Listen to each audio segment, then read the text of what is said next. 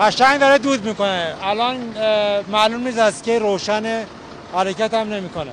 از کی تو ماشین نشستید از الان نیم ساعت میشه. نیم ساعت این ماشین روشنه؟ آره. داریم خفه میشیم توی هوای آلوده. ماشین کهنه هستن فرض عمرشون تمام شده عمر قانونشون تاکسی درصدش 35 درصدش فرسوده است.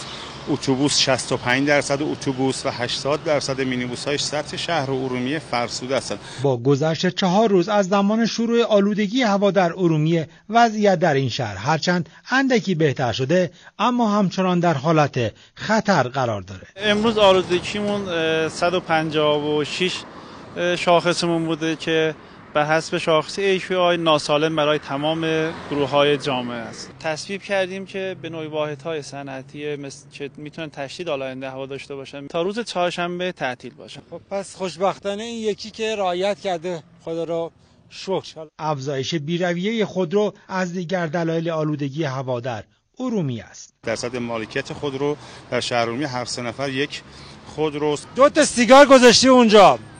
آلودگی هم اینجوری. فکر نمی‌کنی ریاد در داغون میشه؟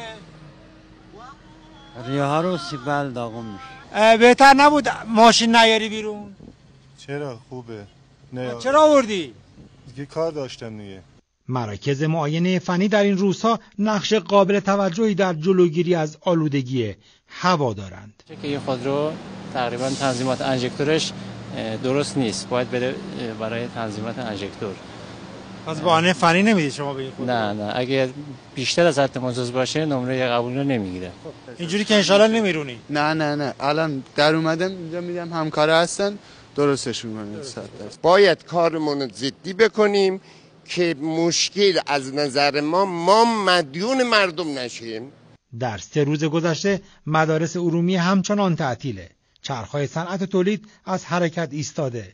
مردم به سختی نفس می‌کشند و معلوم نیست با این روند کی می‌توان دوباره آسمان آبی رو در ارومیه دید و نفسی راحت کشید. آلودگی این روزهای ارومیه هم که شنیدید عامل اصلیش انسانه. خود ماییم که این وضعیت رو درست کردیم.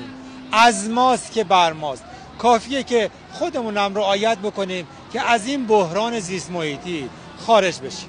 امید شکریازی خبرگزاری صدا و سیما ارومیه.